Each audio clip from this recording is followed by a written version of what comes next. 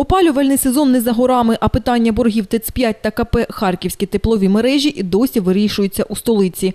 КП «ХТС» заборгувало ТЕЦ-5 165 мільйонів гривень. Через це теплоцентраль не може розрахуватися перед НАКом за газ.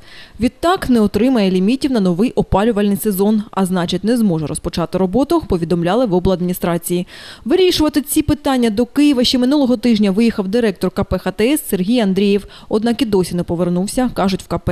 До того ж, ТЕЦ-5 перебуває у стадії продажу. Акції однієї з найбільших теплоцентралей фонд держмайна виставив на продаж за 296 мільйонів гривень. Харків'яни переймалися. Якщо підприємство не встигнуть продати вчасно, батареї взимку будуть холодними. Однак в обладміністрації запевнили, продаж підприємства не вплине на вчасний розпочаток опалювального сезону. Она исключена из э, списка объектов, которые э, не подлежат приватизации. То есть это автоматом она э, выставлена на приватизацию. Там идут соответствующие процедуры, и когда они закончатся, ну, одно с другим не связано, потому что ТЭС-5 существует и будет существовать, как работало, так и работает, все профилактические работы ремонтные там закончены, все готово к отопительному сезону. А приватизация или не приватизация, она не повлияет никоим образом на проведение отопительного сезона и на саму работу самой ТЭС-5.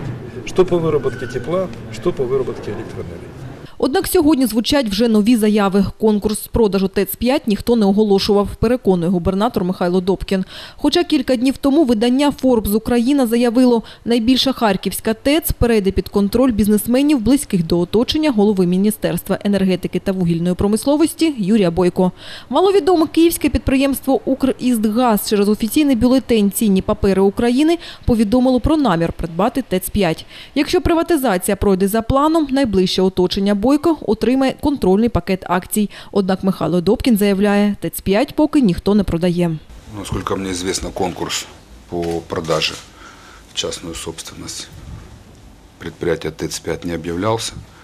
Намерение это хорошо, потому что многие компании, которые имеют возможность э, выкупать дорогостоящие предприятия, ТЭЦ-5 это очень дорогостоящее предприятие, они так или иначе м, проводят предварительную работу для того, чтобы иметь возможность полноценно участвовать в конкурсе.